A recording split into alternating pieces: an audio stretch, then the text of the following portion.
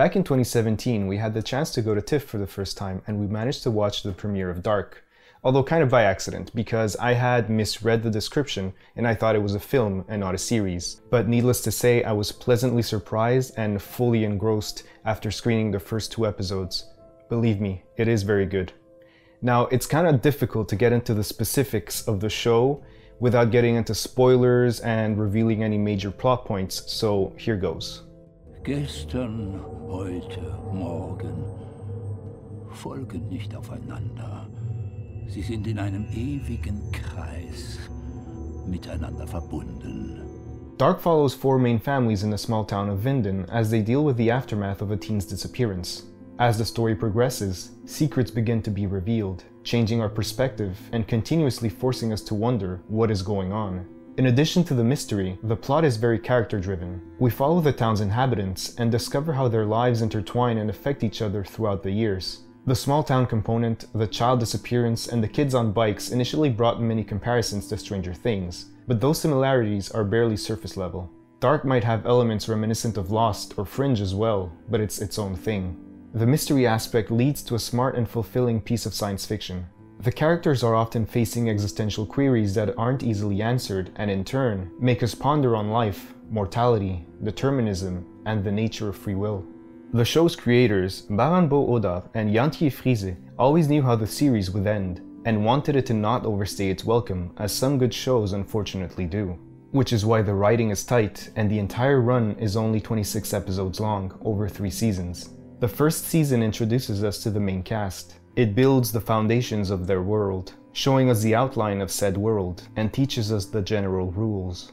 The second season digs deeper, filling in many gaps of the world's outline that had been hidden, further fleshing out the plot and the characters that didn't seem as important at first glance, like in a game when an open world map begins to be filled in. Season 3 expands on everything we knew, adding new layers and variables, all the while bringing the story to a close. With the current oversaturation of television and the various streaming services, there is a parade of series that have a great concept, but fall short in developing it in an effective and appealing manner. Stories that start off with a bang, but fizzle out halfway through, not delivering on the promised premise. Shows that don't know how to end. Or a growing cast of characters that are relegated to the background because there is no longer a way to include them all in the story. Thankfully, Dark is not one of these series. It knows what it is and it knows where it's going. The creator's desire to bring the big screen to the small screen also gives us something that is beautiful to look at. The cinematography complements the somber tone along with Ben Frost's haunting score.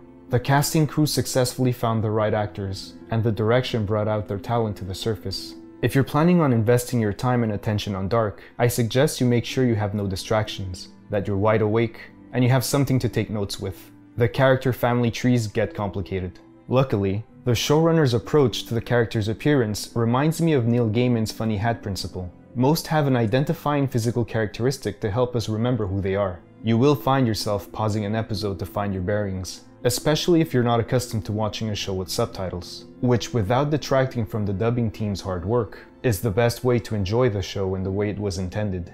The twists and reveals are satisfying and sometimes infuriating. The existential themes are just as enthralling as the sci-fi. Ultimately, beneath the layers of high concepts, this story is unequivocally a human one about love, loss, and how far we're willing to go for those that we've lost. This series is definitely worthy of being binged.